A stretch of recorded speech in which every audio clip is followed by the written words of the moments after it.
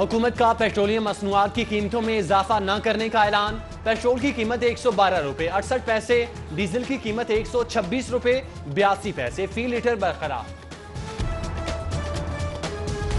बादामी बाग में customs anti smuggling की बड़ी कार्रवाई। गोदाम से करोड़ों रुपए मालियत का स्मगल शुदा छालिया गुटका टायर्स स्टील तार, ऑटो पार्ट्स बरामद। गोदाम मालिकान के खिलाफ मुकदमा दर्ज।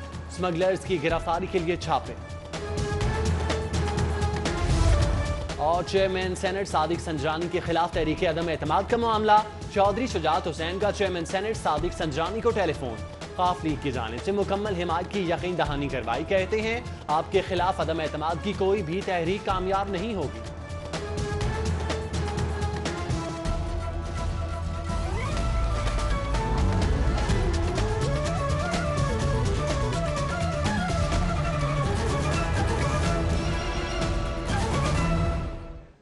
हेडलाइंस आपने जानी न्यूज़ स्टूडियो से फिल वक्त इतना ही। देखते रहिए सिटी फॉलो